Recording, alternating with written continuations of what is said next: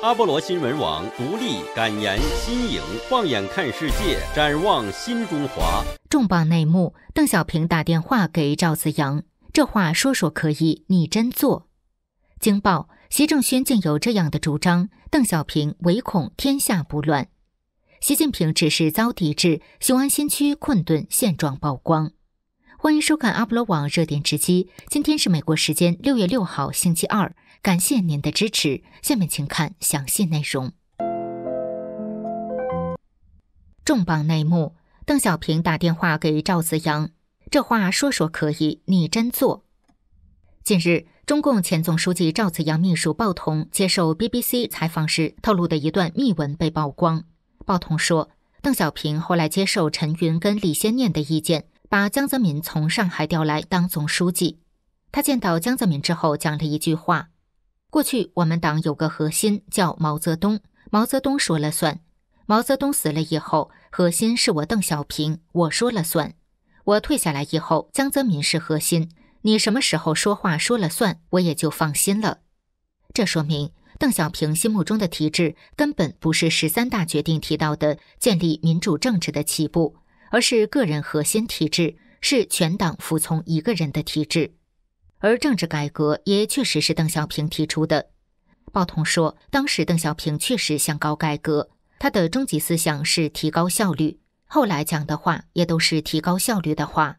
子阳提出来的是要长治久安，这中间就有一个要用什么模式实现改革的问题。子阳套用的是邓小平自己在一九八零年八月讲的民主制度化、法律化，所以邓没法反对。但在一九八七年七月三十一号第一个基础性的政治改革的稿子后，子阳告诉邓小平看了稿子，讲了一句话：“我看可以，但是不要搞三权分立，影子也不能有。”理解他的意思是，你讲三权，不要忘了，在中国还有一个权比三权更大，叫党权。只要有了党权，一切问题都解决。不讲党权，三权就会要分立了。子阳还跟统战部长严明富讲过一个问题，他说：“我们共产党并不是在干部问题上保持全体一致，如果全体一致，根本没有选举的余地。民主党派也可以有自己党组的活动。”这话马上就传到小平那里去了，小平立刻派人打电话给子阳，并说：“这个话说说可以，你真做。”报童说：“邓小平心里想的就是要建立一个党领导一切的体制。”他曾多次讲过，三权分立扯皮，效率低。我们的制度办事快，决定快，不扯皮。经报！习仲勋竟有这样的主张，邓小平唯恐天下不乱。报同是前中共中央总书记赵紫阳最得力的助手，上世纪八十年代辅助赵紫阳对中国政治经济体制改革进行顶层设计，提供重要改革路线图。也是因一九八九年六四事件被捕入狱的最高级别中共官员。六四前夕，因其改革姿态和对天安门抗议学生的温和态度，赵紫阳失去当时中共最高领导人邓小平的信任。鲍同也在一九八九年五月二十八号失去自由。一九九二年三月，中共中央宣布撤销其中共中央委员职务，开除党籍。同年七月。鲍同因泄露国家机密罪及反革命宣传煽动罪被判处有期徒刑七年。一九九六年刑满释放后至今，他居住在北京，住所常年被严密监视，电话被监听，个人活动受到严格限制，形同软禁。六四三十周年前夕，BBC 中文对鲍同进行电话专访时说，自己曾在六四十周年时写过：“邓小平留给后继者最大的历史遗产就是六四。”谁只要平反了六四，谁就得到民心，谁就超过了邓小平，也超过了毛泽东，就可以得到人民的信任。所以这是最大的历史遗产。这件事应该是轻而易举的，一做就成功。他还说自己曾有幸与习主席的父亲习仲勋老先生交谈过几次，很赞成习仲勋老先生要保护不同意见的主张。其实，保护不同意见这个事情，只是在中国的特殊情况下才会提出。不同意见本身当然会存在，就是有不同意见才开会，才征求意见。再比如说，为什么要有舆论？就是要有批评与反批评。没有不同意见，还要批评与反批评干什么？所以没有不同意见等于说没有脑袋，就是不准人们有脑袋，大家服从就得了，这是不行的。共产党现在好像有多少条纪律，不准这个，不准那个。习仲勋老先生如果活到现在，他大概不会赞成看齐这种东西。最后他说，当年毛泽东就是怕刘少奇做秘密报告，所以才发动文化大革命。所以同样，邓小平也是怕赵紫阳做秘密报告，因此从顶层设计了一个六四事件，唯恐天下不乱的不是学生，是邓小平。他要乱，才能至少在他在世时根除党内出赫鲁晓夫的可能性。习近平指示遭抵制，雄安新区困顿现状曝光。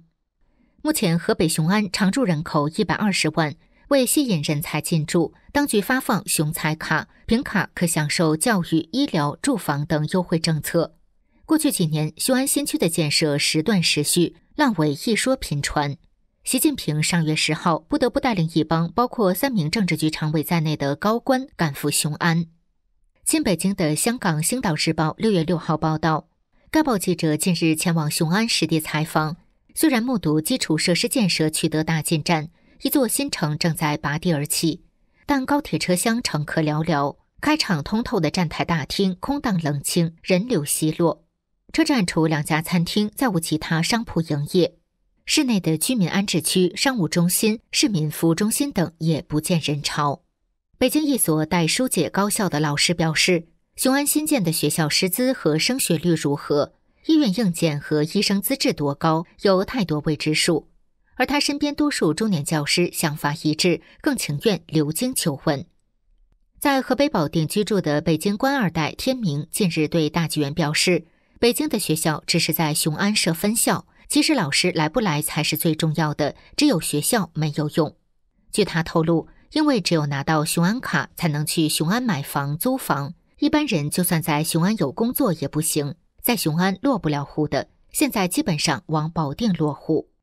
有当地人向前述港媒透露，雄安大规模建设也传出资金困顿，推进迟缓，其中。投资逾三百亿的雄安高铁站虽已开通运营两年多，因缺少交付资金，四仍未通过正式验收。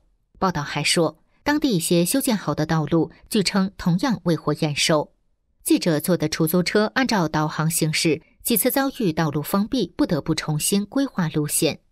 此外，天明对大纪元透露，现在雄安新区住了人的很多都是属于回迁房。就是之前征的荣东片区的地，现在村民住进回迁房，所以显得有人住。说实话，外地来住的人基本没有。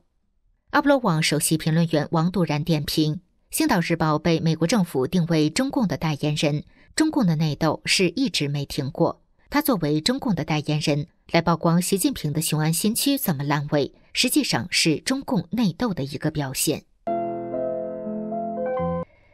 感谢您的支持、赞助和留言，请您订阅并传播我们的频道。我们也在干净世界开了频道，那边没有黄标和红牌的问题。欢迎您在干净世界订阅我们，链接在视频的描述中。再会。